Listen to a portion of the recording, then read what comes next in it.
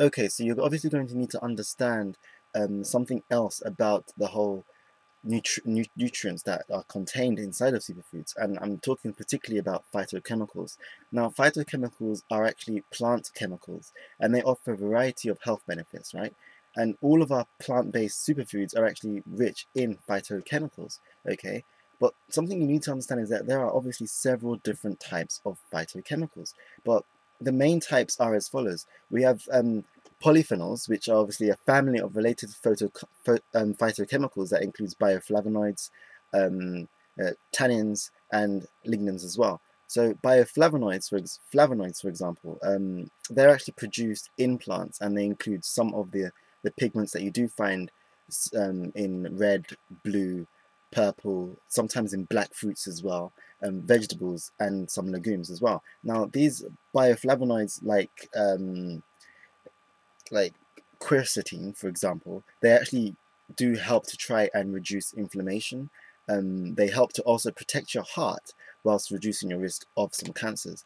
Like I mentioned earlier with regards to tannins, um, you can find tannins in red wine and in tea, okay, and they may help to keep your digestive system healthy. And we have lignans, okay, which are usually found in the cell walls of plants themselves and have hormone-like properties.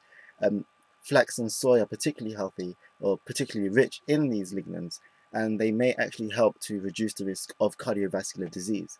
Um, there are obviously more types I haven't covered, and I'm talking specifically about carotenoids. Now, carotenoids are actually related to vitamin A, and they are found in red, yellow, and I believe orange types of pigments. Okay.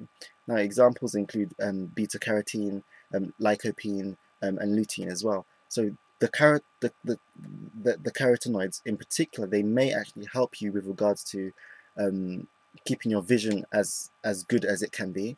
Um, they also make sure your immune system is as healthy as it should be, so it actually helps to boost your immune system, and they also help reducing your risk of cardiovascular disease and some cancers.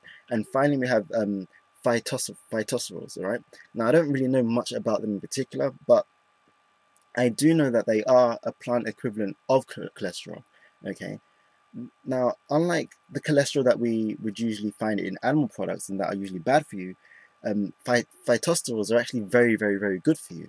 And some phytos phytosterols, um, such as beta sitosterol, um, helps to actually reduce the symptoms of an enlarged prostate. So that's actually very good for men. Okay, so um, and are effective in obviously helping keep your cholesterol um, levels in at a good level, making sure that they don't that they're not going too high um, and that you're obviously remaining as healthy as you can be. But there is one very important fact I just want to mention, and that's the fact that not every superfood is created the same, and not all superfoods or all vegetables actually have the, same amount of phytochemicals that your body requires on a daily basis. So you, obviously you're going to need to make sure that you are eating a variety of superfoods to make sure that you are getting all of those um, all the different variety of phytochemicals.